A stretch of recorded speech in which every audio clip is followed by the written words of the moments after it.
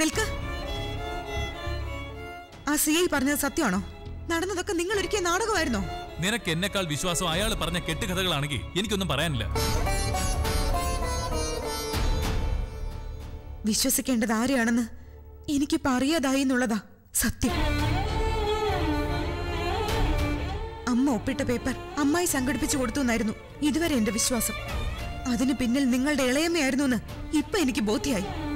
അവർക്കെങ്ങനെ എന്റെ അമ്മ ഒപ്പിട്ട വെള്ള പേപ്പർ കിട്ടും? നമ്മുടെ വിവാഹശേഷം അവരൊരിക്കലും എന്റെ വീട്ടിലേക്ക് വന്നിട്ടില്ല. എന്റെ അമ്മയെ കണ്ടിട്ടില്ല. പക്ഷെ നിങ്ങൾ വന്നിട്ടുണ്ട്. അമ്മയുമായി അടുത്തിടപഴകിയിട്ടുമുണ്ട്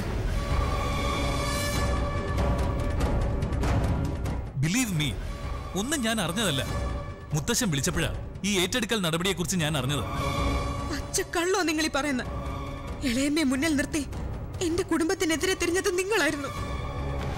ആ സി ഐ പറഞ്ഞതുപോലെ ആരാധകർക്കിടയിൽ വീരപരിവേഷം സൃഷ്ടിക്കാം. നിങ്ങൾ വിജയിച്ചു. നിങ്ങൾക്ക് വേണ്ടി വ്രതമെടുത്ത് ആരോഗ്യം കളയുന്ന ഞാൻ ഒരു വെറും വിട്ടി. തോറ്റുപോയി. എന്തൊക്കെയാ മോളെ നീ പറയുന്നത്? ദൈവം ചേർത്ത് വെച്ച നിങ്ങളെ എന്ന് കുറച്ചു മുമ്പേ അല്ലേ നീ എന്നോട് പറഞ്ഞത്? ഇത്ര വേഗം ഇവനെ നിനക്ക് മനസ്സിലാവാതായോ? നിന്നോട് അങ്ങനൊന്നും ചെയ്യാൻ ഇവന് കഴിയില്ല മോളെ.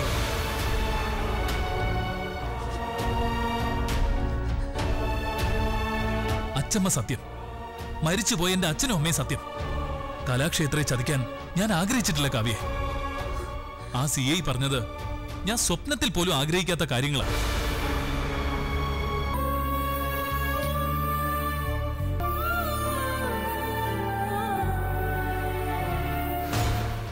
ഇവിടെ എന്താ നടക്കുന്നത് സെന്റിമെന്റൽ ഡ്രാമയോ ഇവിടുന്ന് പോലീസുകാർ പിടിച്ചോണ്ട് പോയതേ എന്റെ അമ്മയാ.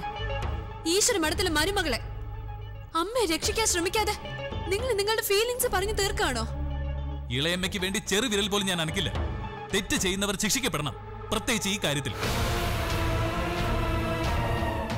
ഞാനൊരു കലാകാരനാണ് കലയുടെ ചരിത്രം ഉറങ്ങുന്ന മണ്ണിനോട് എനിക്കും ബഹുമാനമുണ്ട്.